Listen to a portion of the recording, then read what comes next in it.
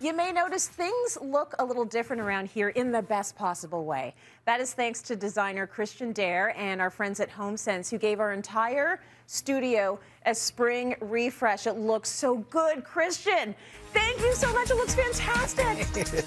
like, walk us through the changes, uh, and let's start here in the fashion closet, the place where I shop every day with my eyeballs. I know, for you and I, this is like our dream fashion closet. There's so much space, and I loved it. I just thought we needed an update for spring. So, yes. as we talk about often in decorating, paint is the easiest way to do the biggest update. So this is actually a custom painted hand mural for our friend Adrienne over at About Murals using all beautiful Benjamin Moore colors. So wow. great, nice pops of colors.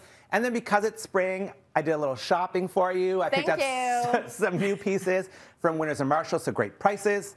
I also styled out, we've talked about perfect credenzas. Mm -hmm. So we did a little credenza, a little owl update, all from HomeSense.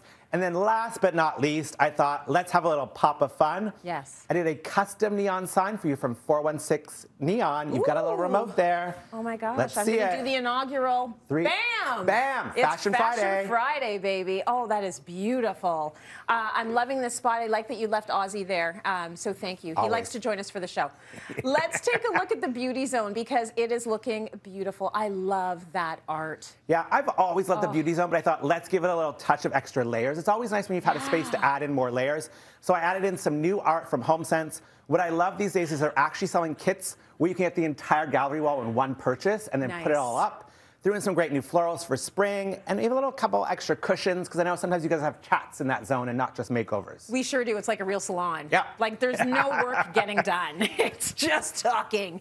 Okay, let's move on over to the main then um, because you had some fun in there. We, we see there's some touches of nature happening. Yeah, so for the main, one of the big uh, trends for spring is called biophilic design, mm -hmm. which I think we've talked about before. It's really about being inspired by nature. Mm -hmm. So I threw some great faux plants so you won't kill them, but great you. faux plants from HomeSense some new carpet, some new pillows, just to get that sort of spring feeling. Lovely. Now the demo zone looks very different than what it did before. Like you gave it a nice little pop there. Yeah, we thought let's make demo a little sexier. Yeah. So did some great large scale art, really nice and painterly, some great new velvet Lux curtains, and then if we go to the little side, I don't know if anyone knows that's technically our sound booth we like to hide in the corner, and I wrapped it in wow. custom wood from Brenlo Trim and Doors.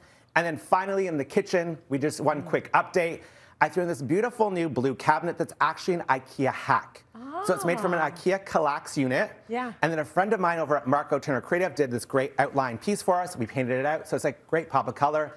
And of course, threw in some new entertaining essentials from HomeSense. It looks so beautiful. You do such a good job with the studio oh, every season, all the time. I love it. I love it. So I can't believe I get to be in this beautiful space.